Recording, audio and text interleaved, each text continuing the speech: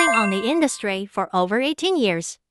One in every three AI service robots worldwide comes from Alpha Robotics.